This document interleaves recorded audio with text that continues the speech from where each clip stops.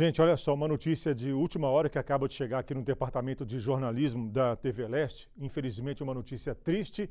Uma batida na região de Teoflotone há pouco deixou mais uma vítima fatal próximo a um restaurante conhecido na BR-418, a rodovia do Boi, que passa por reformas depois do anúncio do programa Provias do governo estadual.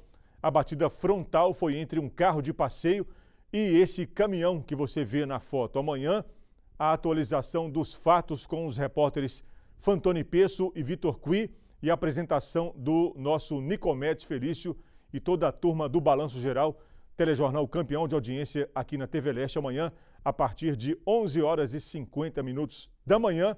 Nicomedes Felício e toda a turma do Balanço Geral atualiza para a gente as informações desse acidente entre um carro de passeio e um caminhão na BR-418, logo ali na saída de Teoflotone, em direção à cidade de Carlos Chagas, no Vale do Mucuri.